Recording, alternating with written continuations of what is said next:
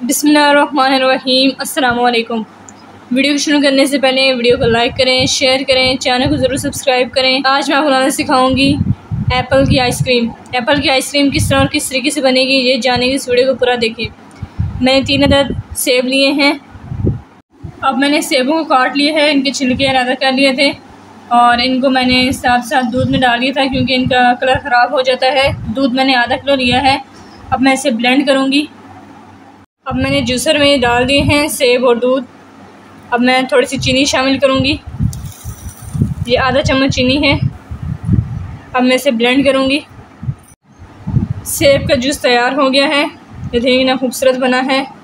अब मैं इसे आइसक्रीम मोल्ड में डालूँगी। जी अब आइसक्रीम मोल्ड में मैंने शामिल कर दिया है, जो मैंने एप्पल का मिल्क शेक बनाया था। अब तीन चार घंटे तक मैं इसे फ्रीज़र में रखूँगी। ये जम जाएगा, फिर मैं आपको दिखाऊँगी। या फिर फ्रीज़ हो जाएँगे। माशाल्लाह से हमारी एप्पल की आइसक्रीम तैयार हो गई है। इस आइसक्रीम को ज़रूर ट्राई करें। अपनी राय का इजहार कमेंट बॉक्स में ज़रूर दें। वीडियो को लाइक और शेयर करें। और आखिर मुझे वीडियोज़ को ज़रूर देखें, आपको बहुत पसंद आएँगी। मुझे दीजिए इजाज़त, खुदा हाफिज़।